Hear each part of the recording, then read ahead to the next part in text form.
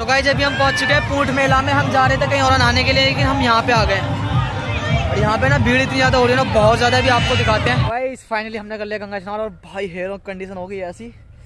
और गाइस पता ठंडा ना इतनी भयंकर लग रही है, भाई साहब।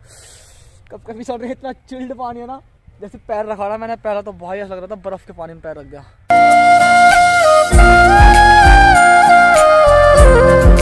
सो hello my YouTube Janata good morning welcome back to my new blog तो गाइज़ आज है गंगा स्नान 27 नवंबर। तो भाई, अभी हम जा रहे हैं गंगा स्नान करने के लिए अपने ही गाँव के पास।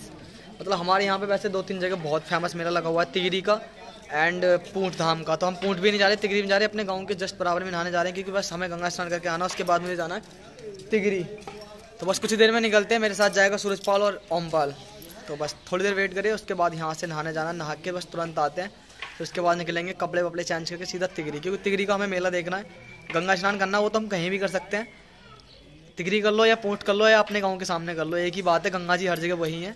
तो अभी हम जा रहे हैं गंगा स्नान करने के लिए उसके बाद जाएँगे तिगरी तो बस कुछ ही देर में निकलते हैं। तो भाई जी आ चुका सूरज। तुमने ब्लॉग स्टार्ट नहीं करा?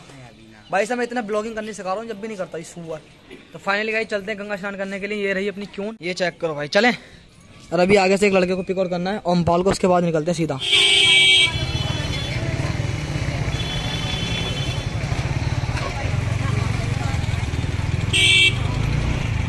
तो गाइज़ अभी हम पहुँच चुके हैं पूंट मेला में। हम जा रहे थे कहीं और नहाने के लिए, लेकिन हम यहाँ पे आ गए और यहाँ पे ना भीड़ इतनी ज़्यादा हो रही है ना, बहुत ज़्यादा भी आपको दिखाते हैं।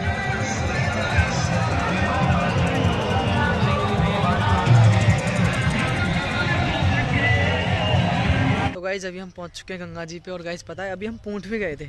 आपने पीछे के दो तीन सीन देखे होंगे, हम पूंट गए थे। मतलब बराबर में ही पूंट का मेला लग रहा है, हम साइड में आए नहाने के लिए, क्योंकि यहाँ एकांत जगह कोई भी नहीं है। हम वहाँ इसलिए नहीं नहाए। भाई, इतना इतना कम है घोटे घोटे पानी है। और ऐसे ही लौट रहे हैं लोग, इतनी भीड़ है ना, बहुत ज़्यादा। यहाँ पे कोई भी नहीं है, जहाँ हम खड़े हैं, अभी दिखाता हूँ। चेक करो, ये नाला वहीं से आ रहा है।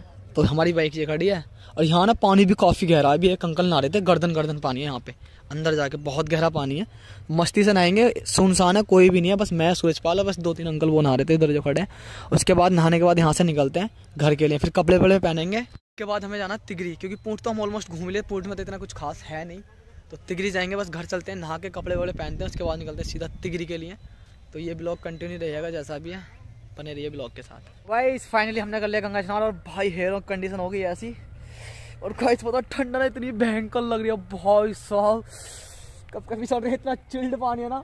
जैसे पैर रखा रहा मैंने, पहला तो भाई ऐसा लग रहा था बर्फ़ के पानी में पैर रख गया। लेकिन अब थोड़ी कम लग रही है, जब घुस रहे थे ना, जब बहुत ज़्यादा लग रही थी। तो फाइनली स्नान हो गया बस कपड़े पहन लिया अब सीधा निकलते हैं घर घर से कपड़े चेंज करने उसके बाद निकलना तिगरी। तो गाइस सूरज भाई भी आ गया नहा के। सूरज भाई चले?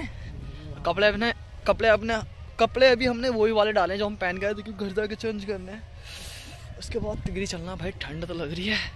घर मिलते हैं भाई आपको। तो गाइज़ अभी हम पहुँच चुके हैं घर और भाई कपड़े चेंज करते हैं और सीधा निकलते हैं तिगरी। और ये वाला ब्लॉग करते हैं यहीं पैंट क्योंकि भाई तिगरी का हम अलग शूट करेंगे। तो गाइज़ आज का ब्लॉग करते हैं यहीं पैंट तो गाइज़ कैसा लगा ब्लॉग नीचे कमेंट बॉक्स में लिख के हमें ज़रूर बताना। गाइज़ वीडियो को लाइक करना कमेंट करना शेयर करना। जिस भाई ने हमारे यूट्यूब चैनल को अभी तक सब्सक्राइब नहीं किया हुआ है तो प्लीज़ सब्सक्राइब कर लें। जिससे आने वाली हमारी हर एक ब्लॉग की नोटिफिकेशन आपको मिलती रहे।